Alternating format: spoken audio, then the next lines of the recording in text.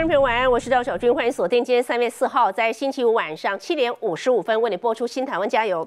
观众朋友进入第九天了，这是一个何在的恐吓战，似乎呢，普丁是杀红了眼吗？无差别的攻击当中锁定的平民百姓，他说他不是针对平民百姓，那么这些平民百姓受伤难道是见鬼吗？我们看到俄军在直接炮轰的过程当中，最新的画面是欧洲最大的核电厂，为什么？由于呃，在过去四八八小时遭到的乌克兰居民不断的干扰跟伏击，其中包括了大批毫无武装、手无寸铁的老弱妇孺，包括了一般的老百姓，因为在二十四小时之前，他们试图曾经以肉身跟这个反战标语要阻挡俄军朝这个扎波罗杰方向来前进，但是呢，怎么知道俄罗斯的部队呢，不仅是鸣枪来示警，更直接朝这一些挡路的群众呢投掷手榴弹，造成很多的百姓被炸断了四肢，这个镇压的影片，国际感到十分的震惊。同时，我们看到，由于在这个核电厂四处乱轰滥炸之外呢，目前员工更是对外呼救，他们呼救什么？说这些俄罗斯军队打算要在核电厂里头埋设炸弹跟地雷，真的要如此的做吗？我们看到，在乌克兰虽然许许多多的城市似乎陆陆续续有被占据，我们稍后从地图来看，不管是赫尔松、赫尔松附近的马利坡，那么附近的奥德赛港，这些一旦被占据之后，情势可能会去演变。但是乌克兰也不是毫无斩获，比如说乌克兰军方宣布，画面当中你看的画面，击毙了这个俄罗斯军队的少将，这是中央军区第四十一军团的副指挥官。OK，好，消息属实，对于乌克兰当地民众来讲，当然士气大振。除此之外，他们也宣布乌克兰军方他们成功击落了苏凯三十四战机。好，在俄罗斯全面入侵的同时呢，我们看到乌克兰是丹麦呃开了第一枪。部分的国家不止丹麦已经同意有志愿公民前往乌克兰进行声援来抵抗俄罗斯，而且呢，乌克兰总统已经宣布，就说第一波来自于其他国家的志愿军多达有一万六千人抵达了乌克兰。这些人到底怎么进行运作？那么未来怎么去操作？怎么去帮忙去保卫这个乌克兰？不过在此同时呢，台湾昨天面临的高雄新达电厂这一个停电，那么事故之后，全台湾的效应。依然扩大。在从台湾感受到这个时刻的，应。该包括美国前国务卿的蓬佩奥他昨天跟台湾的工商界呢，大约有三十人闭门会谈，有一个小时。下午呢，今天也有继续跟媒体之间的会谈。不过今天早上呢，我们看到他在君悦饭店的演说当中，有特别提到，台湾当然就是一个自由独立的国家。不过被问到美国是不是有必要时会出兵？他说要再仔细想一想。国防部长在今天也做出了论述：中华民国的领土要自我防卫，我们不会依赖任何的外援。来，最新的情势发展，为你邀请到这几位来宾。首先为介绍是国防院研究员，也是国家安全研究所的所长呢，沈明世沈所长来到我们现场。那沈所长晚安，主持人晚安，各位观众朋友大家晚安。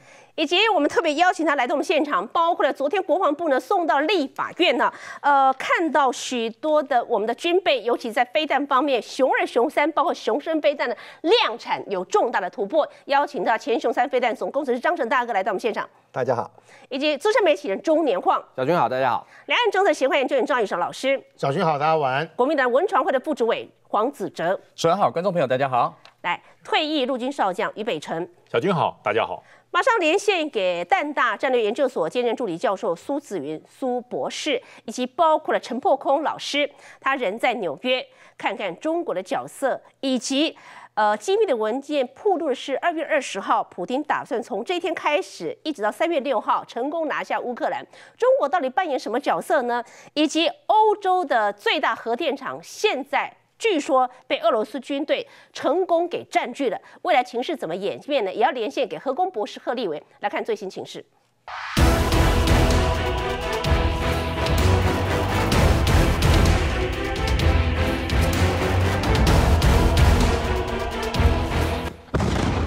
巨大爆炸声响伴随浓浓黑烟，响彻乌克兰东南部城镇安赫德。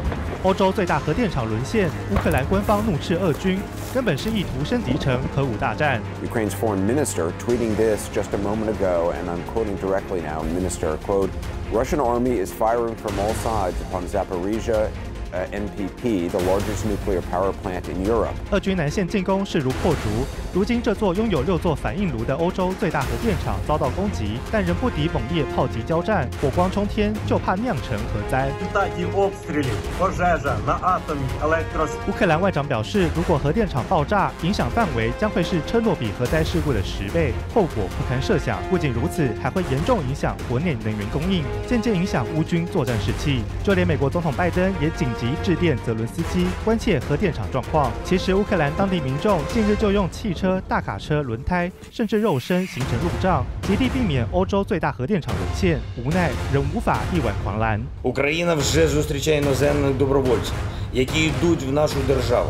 Перші з 16 тисяч вони їдуть захищати свободу, захищати життя. 虽然来自美国、英国、捷克等自愿前往乌克兰协助乌军抗战的1.6万名志愿军顺利抵达，准备助攻，但报效国外志愿军其实有门槛。根据捷克法律，除非请求批准，否则捷克公民禁止在国外服役，违者最重将被判处五年徒刑。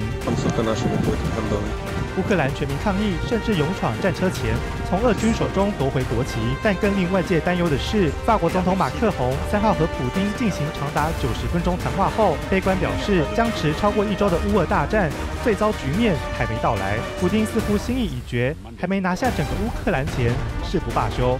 好，这个形势到底有多严重？现在俄军是什么杀红了眼吗？狂轰滥炸吗？于将军，其实大家一直在问，普丁到底想干什么？法国总统马克龙说他要占据整个乌克兰。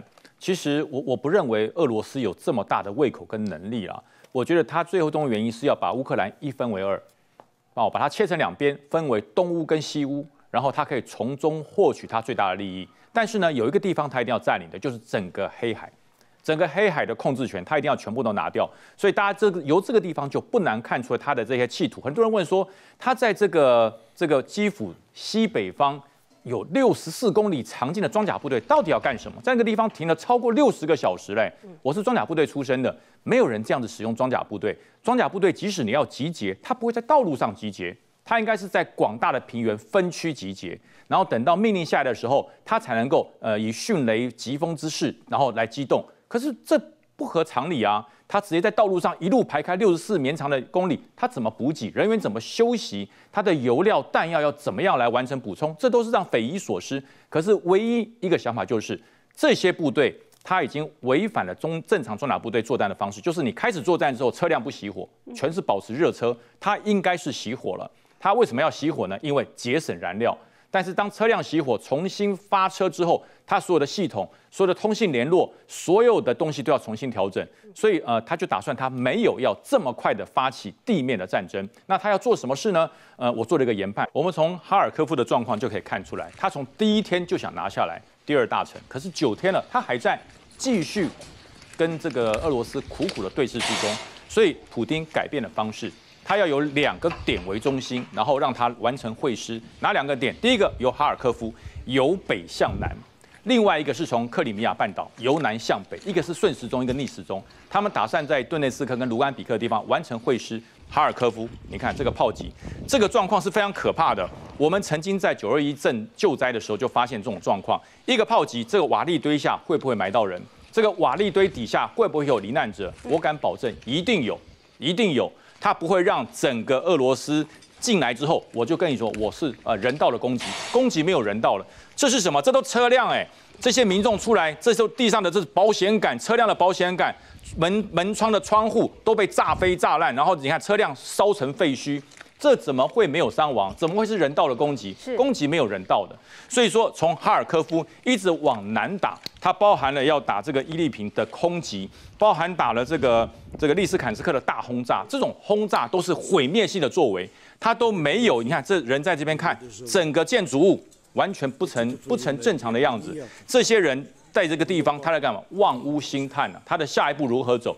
这就是普丁要的，他要所有的居民，你在跟我对抗，这就是。你的未来，这就是你可怕的未来。他要瓦解乌克兰所有人民的向心力，还有一些城市尚未被攻击。呃，一这个普京也用了一种方式，他叫他的士兵大拉拉拿拿着手榴弹进入城市，他拿着手榴弹，你看走入人群，大家都在拍，都在拍，然后他告诉你这是实弹哦，这是实弹哦。如果你要伤害我，我就会让它爆炸，跟你玉石俱焚。但是你让他走了以后，他告诉你，你们如果不投降，不是一颗手榴弹而已，下一波是所有的精准炸弹，所有的毁灭性的炸弹会炸在你的家乡，炸在你的家园。那同时，普丁还做了一个非常非常看起来人道，但是执行起来是非常缺德的事。我开一条安全走廊，我让你乌东地区想要跑的人赶快跑，你离开这个走廊，你离开这个地区，我马上就要狂轰滥炸。他就是要瓦解地区所有人民对于乌克兰政府的向心力，所以这件事情已经受到国际社会相当重的瞩目，而且哈，呃，大家最近近来看到了一件事，就是哎，出现了一种蝴蝶雷啊。大家说什么叫蝴蝶雷？这个蝴蝶雷哈，我在。这个受训的时候，还真的有受的这个工兵有跟我介绍过，这是在越战的时候发展出来一种非常不人道的武器。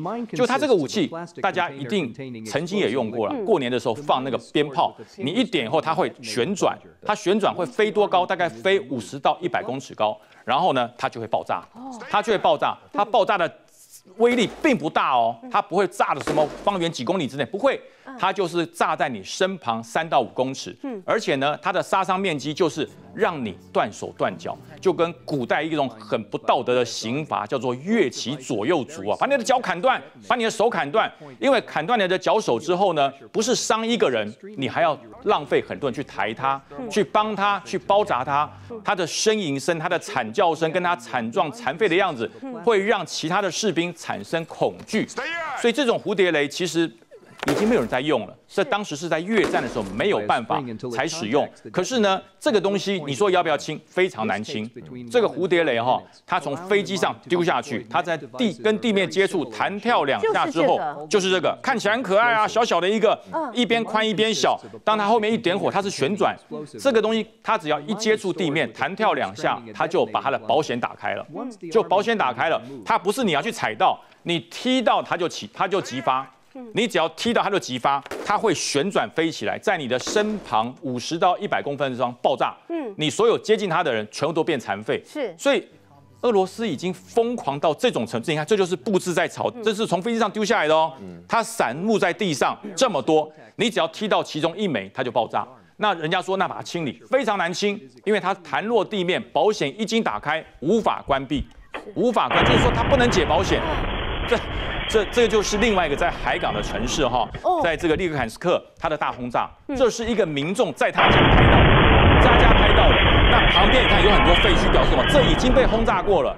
它持续对港口的所有重要设施在继续轰炸，所以乌克兰的人民现在真的是处于水深火热之中。那么呃，所有能够解救他的方式是什么方式？要阻止俄罗斯的进攻，绝对不是跟俄罗斯顶头硬碰硬。是截断它的尾巴，是截断它的战斗持续力，所以我觉得全世界都在谴责一件事，不要光谴责，你要实施真正的经济制裁。所以很多人说经济制裁有用吗？对，有用，可是一定会伤到自己。嗯，我不跟俄罗斯做生意，我不跟他买石油，不跟他买天然气，我本国的资经济也会受到影响。但是这是必要的牺牲，因为这是国际正义。所以很多人在说，哎，我们台湾能做什么？我们跟俄罗斯的这个经济往来不过零点一而已，有什么本事？嗯。可是一个国家零点一，一百个国家呢？是。你的经济的实力就能够影响到俄罗斯。虽然我有损失，虽然各国家都有损失，是。可是你解救的是乌克兰，你解救的是世界上的自由、人权跟正义。嗯。所以我真的是呼吁哦，大家不要嘴巴说而已，我们要支持这些制裁行动，即使我们的生活受到影响。苦一点，为的是全世界；苦一点，为的是世界和平。如果你今天不关心乌克兰，明天。中国来侵略你的时候，别人也一样冷眼旁观。好，我们回到刚刚前面那个画面，那个轰炸声的画面。呃，这个地方应该我印象当中，这个城市是位于在乌克兰的东部哈。从刚刚呃从空中看到这个民众所拍摄到这个画面，哇，废墟过后的一片那么狼藉之后呢，竟然还是有大楼遭到了轰炸，拍下是空无一人，非常惊悚的画面。呃，现在有多个城市都面临到这样的一个场景啊！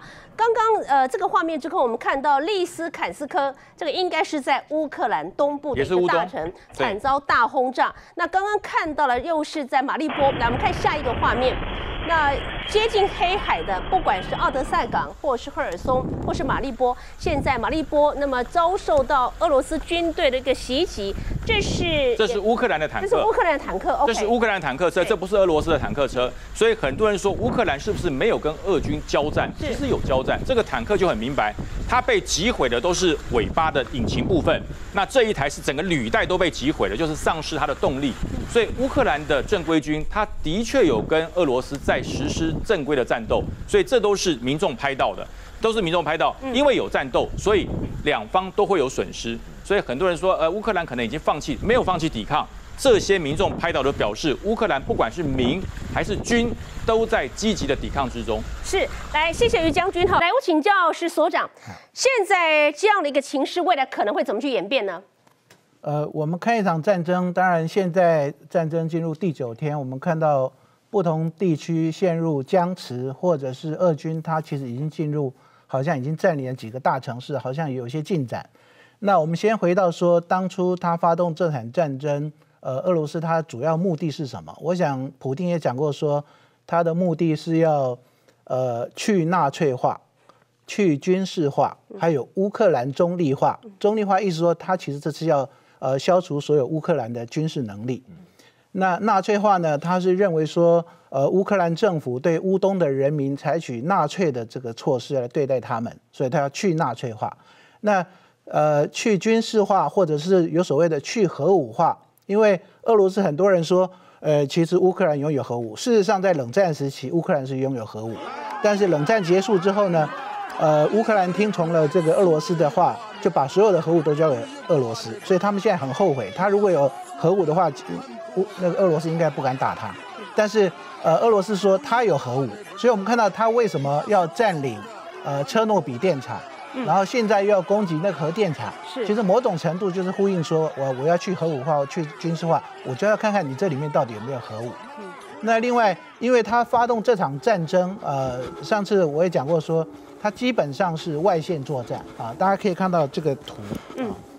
那呃，虽然前几天俄罗斯的攻击稍微有点停顿，但是他原来的作战态势其实还是没有改变啊，就是他有所谓的主作战跟呃支作战，他目前的主作战还是在基辅啊，基辅这个地方。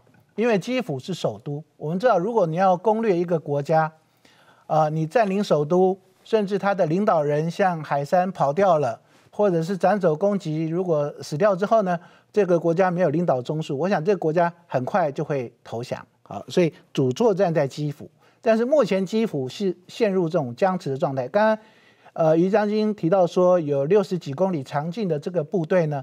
其实就是因为陷入僵持，所以他要增援部队到这个地方来。那目前呃，俄罗斯所谓的营战术群大概有一百一十七个，那目前只剩下六个还不在这个战场，现在都已经在乌克兰这个战场，所以他现在要加强部署，准备要征服基辅。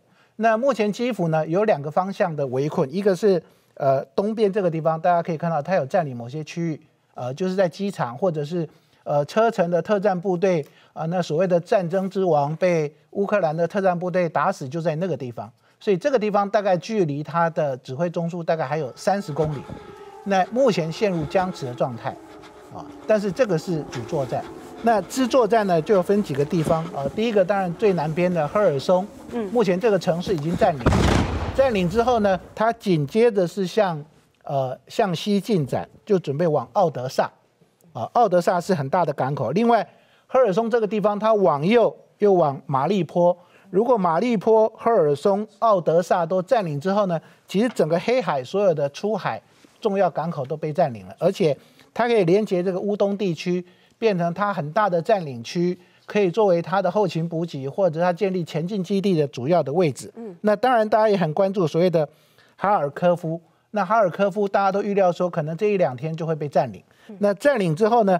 你可以看到，它不管是从南边，或者是从哈尔科夫的东边，它可以往基辅进行合围或战略包围。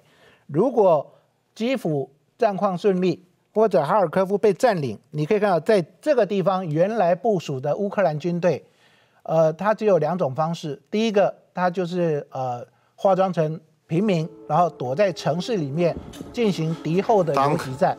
另外呢，就是保留实力，成建制的往西边转移。转移之后呢，呃，刚才于将军提到说，呃，乌克呃俄罗斯的目的是要分为这个东乌跟西乌。如果这些部队移到这个地方来，我们可以看到这有个城市叫利沃夫，嗯，它是靠近波兰。那之前其实它的中央政府某些地方已经迁到利沃夫了，是，所以它可以把这些主要的呃旅的完整的部队迁到这个地方来。那当然，它至少可以维持这个呃这个西乌的这个整个态势，等于说呃俄罗斯从南到北，由东向西或者由基辅往南以后呢，再往利沃夫，等于延长了它的作战的时限。我们看到有些国外的专家说。呃，这场战争可能要延迟大概两个月之久。两个月啊，今天才进入第九天。哎，对，两个月之久。那这里面当然又牵到了说，呃，这些被占领的城市，我们知道其实有两个呃乌呃俄罗斯团级的部队，他因为这个城市攻不下来，所以他决定绕越这个城市。就大军作战来讲，城市对于部队来讲它是障碍啊。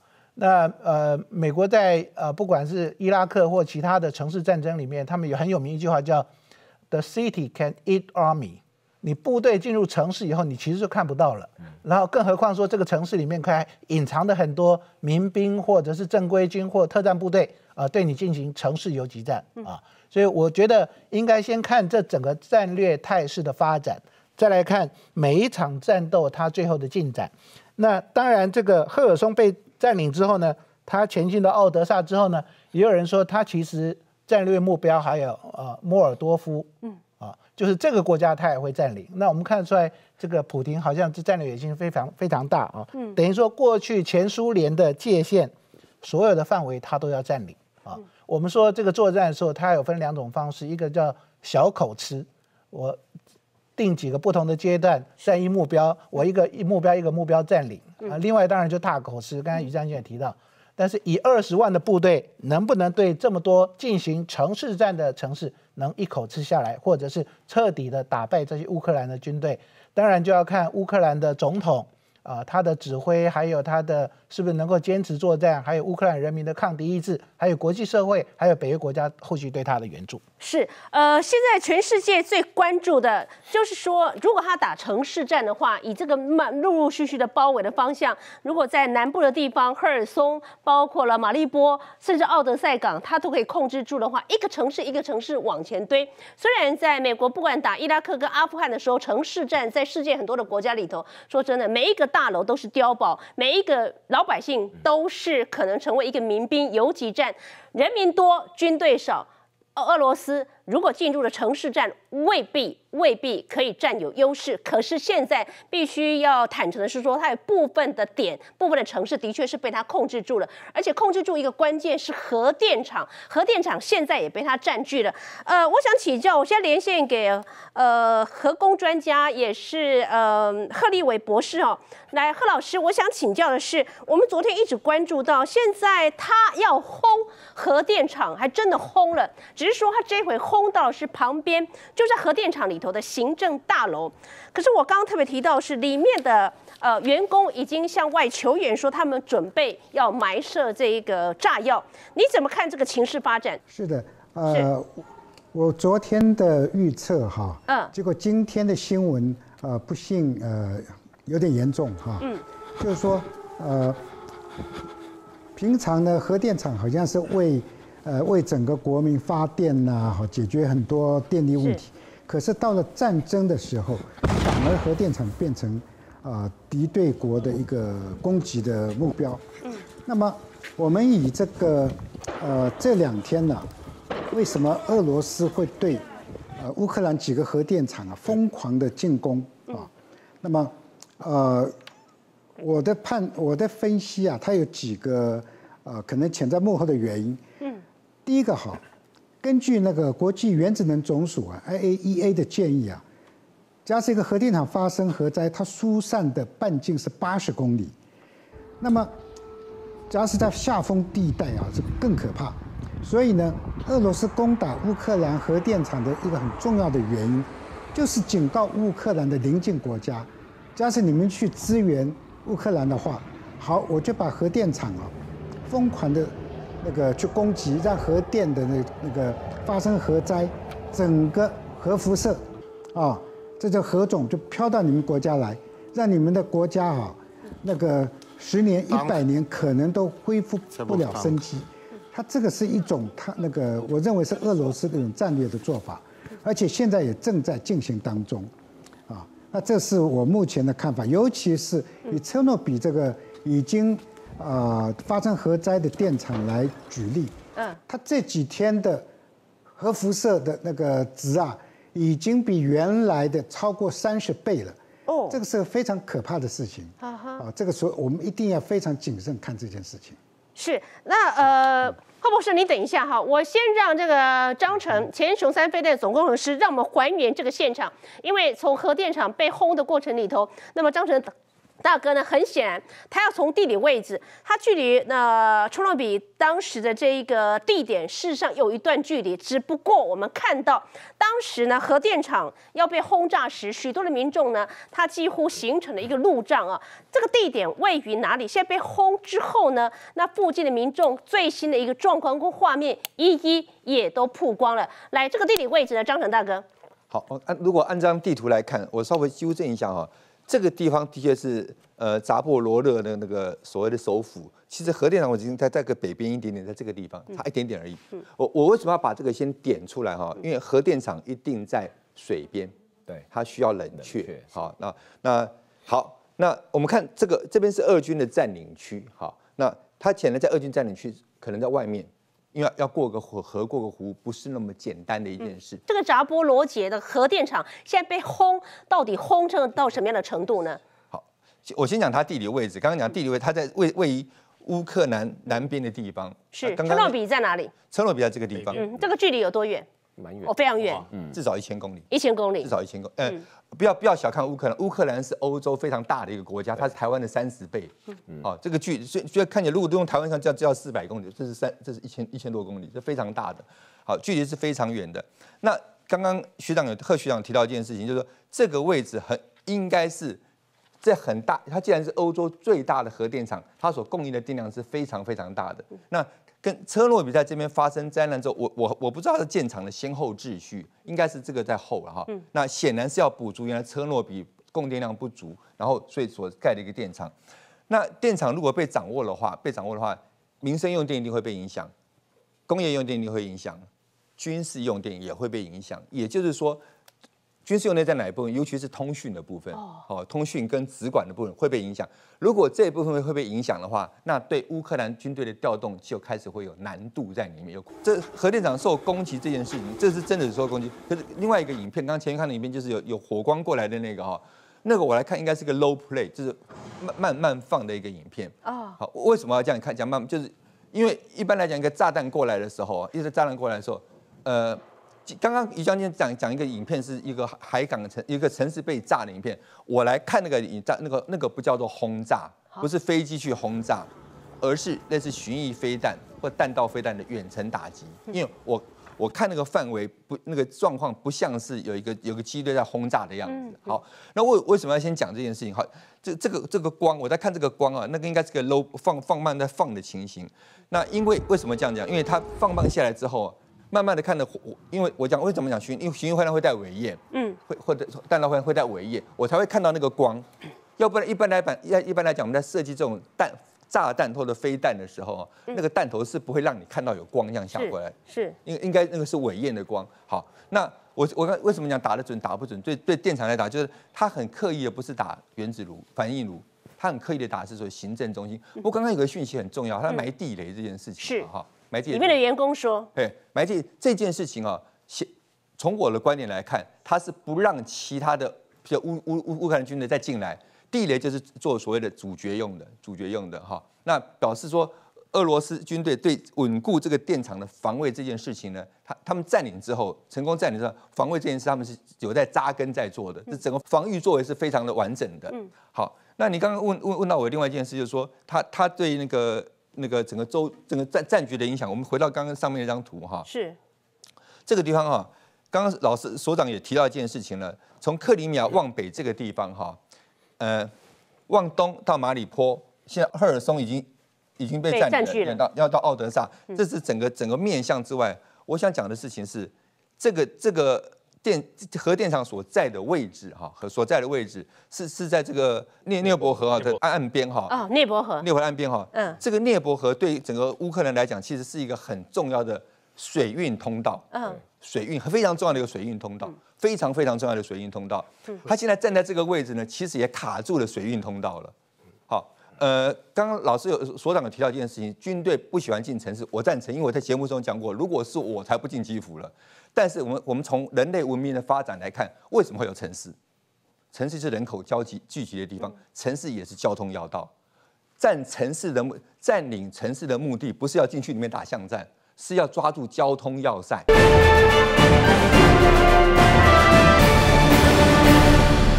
现在你已经已经打了多久了？已经打了八天没有打下来。其实，在 Day One 的时候，Day One 的时候，呃，俄罗斯对整个乌克兰发的发动了非常多的所谓的踹门攻击。什么叫踹门攻击？就就巡弋飞弹、弹道飞弹打所谓的军事要点的时候，这些地方都被打了。好，好，那。打到现在还没打下来。如果我们回到那个刚刚那上面那张图来，所以俄罗斯特地打这个当地的除油槽。对，这个这个是我先把这边讲一下。他如果说哈，从基辅沿着涅伯河西岸跟东岸，如果切尔尼戈被他打下来的话，其实基辅现在已经被包完全被包围了，哦，已经完。但是这边发生激战，发生了激战，到现在还没有打下来。所以回回来刚刚看那个那个那个油槽哈，基辅周围它是有重兵的。好，切尔尼戈夫现在还在激战中，还没下来，所以俄罗斯军队不得不才从那个那个那个东北边这样切下来。如果他可以的话，早他早就下来了。好，这这个是他那个油槽被被攻击，消防队在救救的状况。这一部分呢，是俄罗斯在打这种作战的时候一个很精准，就是我我破你油槽，我破你弹药库，我破你通讯，我破你交通，这个这个这个是很精准的做法。好，那这样切尔尼戈夫除了这段，还有很多市区被轰炸的部分。所以去轰炸切尔尼科夫，事实上有它的战略意义，非常重要。让基辅更容易把它包围攻进去。对，没错。但是这这个这个地方可以看到乌克兰军队的奋战，他打了那么久打不下来，打到什么程度？我这边用这张图再补充说明一下啊。我刚说，他因为切尔尼科打不下来，所以他现在这个地方，他从北边换个道路，从这边要切过来去包围基辅。这个斜线的部分，这个淡黄红色的部分是还没有被乌克兰 confirm 被占领的地区，可是俄方已经宣布他们占领的地区是这种。那如果是这个样，他现在切尔尼科夫打不进来，他从这边打进来，从就绕切过，跳过切尔尼科夫，直接从这边接近基辅。呃，按照那个美国智库的消息说，这个边缘离基辅已经剩下六十公里了。好，如如果这个被确认的话，剩下六十公里，那我想的是这个地方的战况的激烈。这个刚刚于将军提到的马里坡这部分呢，马里坡也非常重要。嗯，其实哈，马它就是外线攻击，两边在夹击它。我们看一件事情哦，这个地方我们在节目上说过，第一天炮击的时候，这边炮击量非常多，就轰炸的时候非常多。嗯，我第一天在节目上，我本来是说我我认为乌东没有重军，我我更正我的说法。因为他第一天会攻击的一定是军事要塞，所以在刚刚那个乌东的地方，他那么多的炮击在那那轰炸在那个地方。好，那如果说回到这里来看了，回到这里来看，大家可以看一件事情，因为乌军有重军在这个地方，这个卢甘斯克跟跟那个顿内斯克的部部分呢，实际上俄军没有推进，嗯，没有推进的状况下，他们反而从克里米亚这边往往北走，往往东北走，嗯，他们已经成功的把马里坡拿下来，就是用。外线攻击整个夹击拿下来，现在这个战线连通之后，连通之后，俄罗斯会俄俄军会做一件事情，好，叫叫我们叫做叫就是类似类类似我们在在打两军打仗的时候，以前那个蒙古军队啊，嗯，为什么让欧洲欧洲人吓吓坏了？那些骑兵跑得又快，两军在对那是冷兵器，两军在对峙的时候，那很快的骑兵就往你队伍中央冲过去，然后把你切成两半，切切成两半之后，然后再围起来。好，这我们叫做穿插攻击。嗯，穿插插攻击。好，所以刚回到如果回到刚刚这张图来看的话，哈，他现在把这边连起来之后，他如果把这边围起来，或者说再再从这边突破的时候，这边乌军啊就开始被切割了，围点打援就开始出现了，围点打援就开始出现了。嗯，所以其实现在对对乌军来讲，就是对乌克兰军队来讲，怎么样把这边的军队怎么样做战力保？他现在完全被牵制住了。是，怎么样做战力保存？然后跟这边的重军，嗯，可以做结合，其实是件很重要的事情。是啊，那我在节目里提过一件事，我一直怀疑制空权的问题。制空权，因为现在讯息不完。那今天我听到一个好消息，你讲的好消息。嗯，啊，制空权一直在争夺，一直在决战。我为什么对制空权有怀疑过？哈，因为对我们来讲，制空两个部分哈，一个是战机制空，一个是地面防空。好，战机是战机。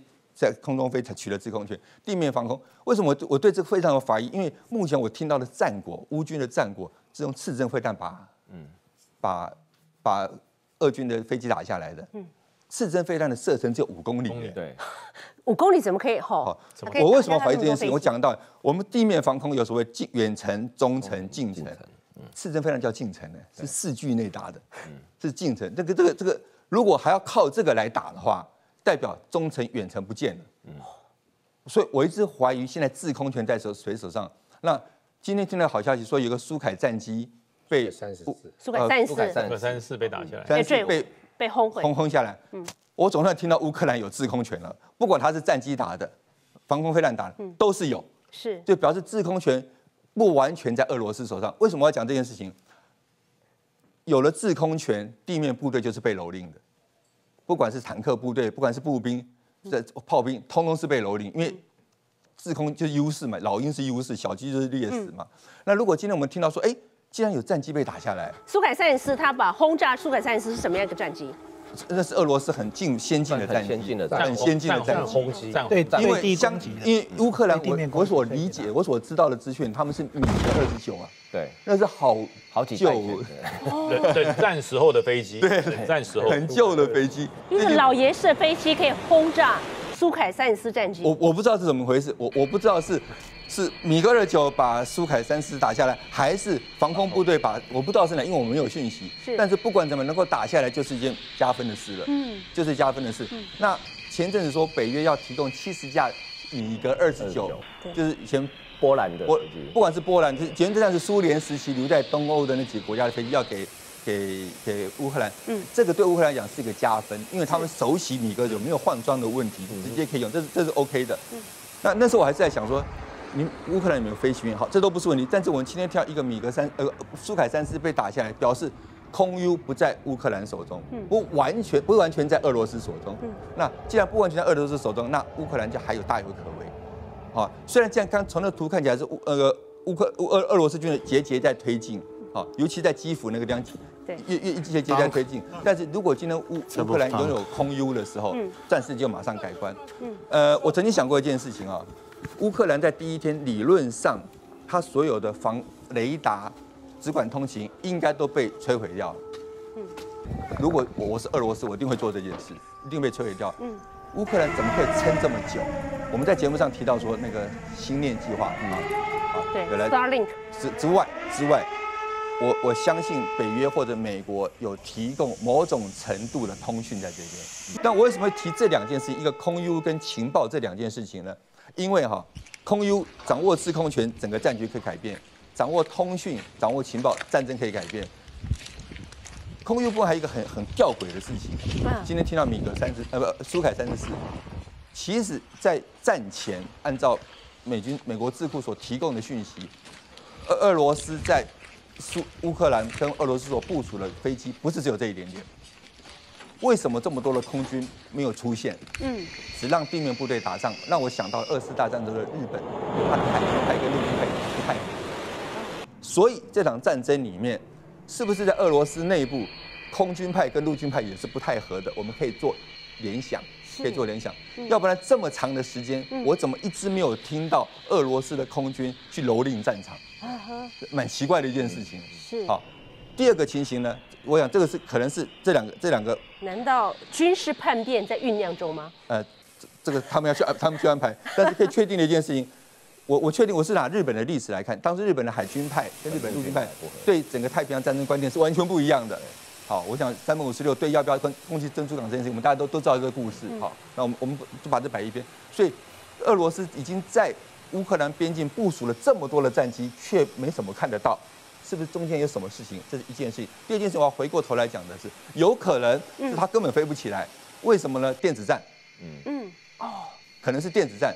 不是他们内部可能没有问题，可是因为有因为有国家或者是乌克兰本身的电子战发挥效果，让他们的战机没办法缺。你不要忘记乌克兰多大？乌克兰台湾三十倍大啊！是。我们一般来讲，一个战管三十倍吗？十不是十八到二十倍吗？它它的土地是六十万平方公里的，大概十六十七倍啊，十六十七倍。十六不不管怎么样，不管怎么讲啊，我这样讲，一般的战管雷达要指挥飞机，我们飞机都有作战半径，